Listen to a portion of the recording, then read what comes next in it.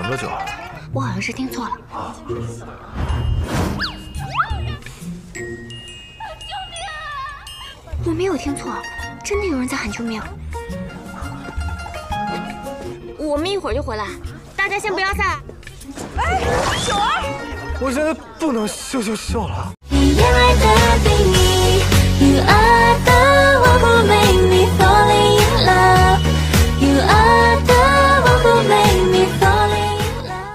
Hai, hai Miss Lopa, kembali lagi di channel Miss Cherry Yap dir, kali ini Miss kembali lagi menyapa kalian semua Tepatnya masih dengan sesi rekomendasi drama Cina by Miss Cherry Lebih tepatnya guys, di video kali ini Miss akan membahas sebuah tema yang sangat menarik yaitu top 6 drama Cina kostum romantis yang wajib kalian tonton di tahun 2023 ini. Di mana guys, keenam drama ini merupakan sebuah drama dengan genre atau drama kostum historical tetapi juga mengusung genre romantis yang pastinya akan semakin membuat kita baper ketika menyaksikannya. Terutama nih bagi kalian para drama lovers yang mungkin sudah kehabisan stok drama modern romance atau mungkin sudah bosan dengan genre modern romance. Tentu saja sangat tepat kalian harus coba untuk mulai nonton drama Cina dengan genre kostum historical romance. So guys, tanpa berlama-lama lagi, langsung saja kita mulai ke videonya. Check it out!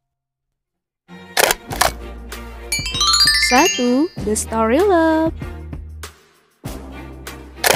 Yap guys, seperti yang kita ketahui bersama bahwasannya drama Cina The Story Love merupakan salah satu drama kostum yang paling populer dan sangat menggemparkan di bulan Februari sampai Maret 2023 ini. Apalagi guys, banyak juga orang-orang yang berpendapat bahwasannya mereka yang awalnya bukanlah drama lovers alias non drama lovers, tetapi mereka pun kepo untuk nonton drama The Story Love ketika mereka tak sengaja melihat rekomendasi YouTube ataupun FYP di TikTok mereka dan mereka pun coba untuk nonton drama ini. Dan langsung saja banyak para orang-orang yang berpendapat bahwasanya The Starry Love merupakan salah satu drama kostum yang sangat buat mereka baper tapi juga sangat geregatan dengan jalan ceritanya. Sehingga mereka yang awalnya tak suka nonton drama Cina akhirnya kepo dengan drama-drama lainnya berkat drama The Starry Love. Yang inti ceritanya berkisah tentang dua orang anak kembar yang sama-sama cantik tetapi mereka berdua pun memiliki tabiat alias perangai yang sangat berbeda jauh. Mereka lah lahir dari seorang ratu suku.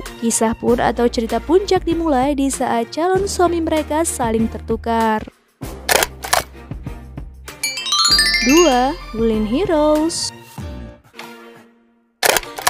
Nah, Miss Lopa drama Hulin Heroes bercerita tentang seorang pria tampan yang merupakan seorang ketua lembah penghua yang merupakan seorang tabib yang sangat terkenal dalam dunia persilatan. Bisa dibilang ia merupakan seorang laki-laki yang serba bisa karena ia ahli dalam ilmu medis serta ilmu pedang. Tetapi guys, sayangnya karena selama ini ia pun terlalu sering menguji coba obat-obatan membuat ia menderita sebuah penyakit yang sangat mematikan sehingga saat ini ia pun harus bertahan hidup dengan meminum ginseng ginseng sampai akhirnya ia bertemu dengan sosok Yeshi, seorang wanita yang telah berkultivasi selama ribuan tahun lamanya di sebuah kaki gunung untuk menjadi seorang peri ginseng. Dan sampai tiba waktunya, kultivasinya pun telah selesai dan saat ini pun ia pun bangkit di sebuah kaki gunung yang tak jauh dari lembah penghua yang sejatinya merupakan daerah yang diketuai oleh Bayue. Kehadiran Yesi di kaki gunung tersebut membuat ia pun bertemu dengan sosok Bayue, di mana pria itulah yang menolongnya di saat ia sedang ada dalam masa kesulitan. Pada akhirnya, sebagai bentuk balas budinya terhadap Bayue, ia pun berusaha untuk mengobati penyakit yang diderita oleh Bayue.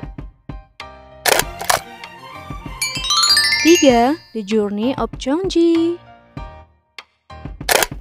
Nah Miss Lopa, drama ini juga merupakan salah satu drama kostum romantis yang sangat populer sejak awal penayangannya karena drama ini bercerita tentang kisah seorang wanita cantik yang tepatnya merupakan seorang putri dari Raja Iblis yang telah musnah. Singkat cerita, saat ia pun berusaha untuk melarikan diri ke dunia manusia, ia pun diselamatkan oleh sosok lelaki yang bernama Chu Bufa yang merupakan manusia abadi. Laki-laki itu pun menyelamatkan Zhongzi serta beberapa klan iblis lainnya. Setelah pertemuan pertemuan mereka serta mereka pun saling mengenal, pada akhirnya Chongzi meminta kepada laki-laki tersebut agar ia bisa tinggal di dunia manusia, tepatnya di Nanhua. Tetapi laki-laki itu menolaknya karena ia tahu bahwasanya suatu hari nanti wanita ini akan menjadi seorang iblis yang sangat kejam. Sampai akhirnya muncul sosok Lu Yipan yang merupakan seorang yang mulia yang secara mengejutkan menerima Chongzi untuk menjadi muridnya satu-satunya. Dan hal inilah yang membuat Chongzi pun sangat tergantung terhadap laki-laki tersebut dan akhirnya membuat ia pun jatuh cinta kepada sosok Louis Pan.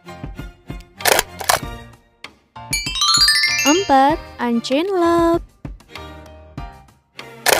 Nah, Lopa, salah satu poin plus mengapa drama Anjin Love sangat populer karena drama ini dibintangi oleh si tampan Dylan Wang sebagai karakter utama prianya. Di mana dalam drama ini ia pun akan berperan sebagai seorang Kasim yang bernama Xiao Do yang merupakan seorang Kasim yang memegang kekuasaan pemerintahan. Ia pun membantu Raja Bu untuk memindahkan kekuasaan serta membantu ia naik tahta. Di lain sisi ada sosok wanita yang bernama Bu Yin Lao yang seharusnya ikut mati bersama dengan pasukan-pasukan lainnya, tetapi ia pun menarik perhatian kaisar, sehingga akhirnya Xiao Do pun menyelamatkan wanita tersebut dan mengizinkan ia tinggal bersamanya. Pada akhirnya, secara bertahap mereka pun mulai saling mengenal dan akhirnya saling jatuh cinta. Tetapi karena status keduanya, hubungan mereka berdua pun harus disembunyikan. Intinya, tekanan terhadap hubungan mereka tak hanya berasal dari perasaan, tetapi juga datang dari kerajaan, dari pemerintahan, serta hal-hal lainnya yang buat mereka berdua pun harus saling berjuang satu sama lain agar bisa menyelesaikan satu persatu masalah yang menghampiri mereka. So guys, apakah mereka berdua pada akhirnya bisa saling bersatu?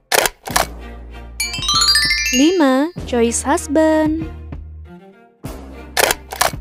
Nah, Miss Lopa, selanjutnya drama Cina ini juga merupakan drama yang pasti akan membuat mata kita segar karena drama ini pun dibintangi oleh gudang-gudang visual para aktor tampan yang berkumpul dalam satu drama. Nah guys, inti ceritanya berkisah tentang seorang wanita yang terkenal akan parasnya yang begitu cantik serta berasal dari keluarga yang sangat dihormati serta sangat terpandang. Bisa dibilang kalau ia merupakan seorang wanita yang hampir sempurna. Tetapi guys, tentu saja kita berpikir di balik kesempurnaannya itu, ia pun akan sangat mudah untuk menemukan sosok calon suami yang akan mendampinginya. Tetapi, pada faktanya tidak ada satupun pria yang berani untuk mendekati sosok wanita ini. Karena telah beredar rumor serta gosip-gosip aneh tentang dirinya, ia pun dianggap sebagai seorang wanita pembawa sial karena ia pun telah gagal dalam beberapa kali pernikahannya. Karena sebelumnya laki-laki yang akan menikah dengannya kabur di saat pernikahan mereka, sehingga ia pun semakin tersudutkan. Sampai akhirnya kisah cinta wanita ini pun mulai menemukan titik terang di saat ia bertemu dengan dua pria yang sama-sama tampan dan sama-sama rupawan. 6. Warm on a cold night Nah, Miss Lopa, in the last part, tepatnya di urutan ke-6 untuk kategori pembahasan kita kali ini tentang drama Cina kostum romantis yang wajib kalian tonton di tahun 2023 ini ditempati oleh drama Cina yang dibintangi oleh si tampan Bi Wen Jun dengan si cantik Li Tong sebagai karakter utama pria dan juga karakter utama wanitanya. Bercerita tentang seorang polisi perempuan dari negara Qian yang bernama Ju Er yang meskipun pada faktanya ia berasal dari negara yang dingin, tetapi ia sangat takut dingin. Dan pada akhirnya ia pun bertemu dengan seorang laki-laki yang merupakan tuan muda yang bernama Han Jong yang merupakan seorang laki-laki yang hangat. Mereka berdua sepertinya telah ditakdirkan untuk saling bertemu serta saling membantu satu sama lain. Di saat mereka berdua pun akhirnya menjadi partner serta saling bekerja sama. Di saat mereka berdua berusaha untuk memecahkan sebuah kasus pembunuhan yang melibatkan kedua klan. Mereka berusaha untuk memecahkan segala konspirasi serta hal-hal aneh terkait kasus-kasus pembunuhan yang terjadi sehingga mereka berdua pun akhirnya semakin dekat satu sama lain. So guys, apakah misi serta rencana mereka untuk mengungkapkan kasus pembunuhan akan berjalan dengan lancar?